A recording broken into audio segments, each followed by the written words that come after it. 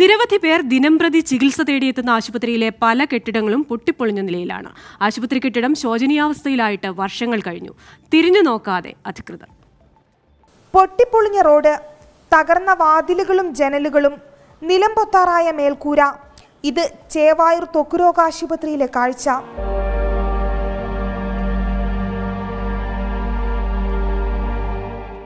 ആയിരത്തി തൊള്ളായിരത്തി എഴുപത്തിയൊന്നിൽ സംസ്ഥാന സർക്കാർ ഏറ്റെടുത്ത കുഷ്ഠരോഗ ആശുപത്രി രണ്ടായിരത്തി പതിനാലിലാണ് ഗവൺമെന്റ് ത്വക്കുരോഗ ആശുപത്രിയായി പുനർനാമകരണം ചെയ്തത്.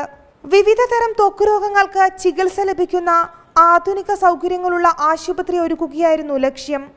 എന്നാൽ പേരുമാറ്റിയതല്ലാതെ അടിസ്ഥാന സൗകര്യ വികസനം തുടങ്ങിയെടുത്തു തന്നെയാണ്. അറ്റകുറ്റപ്പണികൾ പോലും നടക്കുന്നില്ല.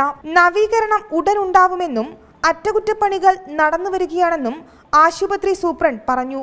നമ്മുടെ ബിൽഡിങ്സ് ഒക്കെ പഴയ ബിൽഡിങ്സ് ആണ്. അതിന് വേണ്ട അനുസരിച്ച് പി ഡബ്ല്യു ഡി അതിന്റെ റിനോവേഷൻ ബാക്കി റിപ്പയർ വർക്കൊക്കെ ചെയ്തുകൊണ്ടിരിക്കുന്നുണ്ട്. രാത്രികാലങ്ങളിൽ സാമൂഹ്യ വിരുദ്ധ ശല്യവും പതിവാണ്.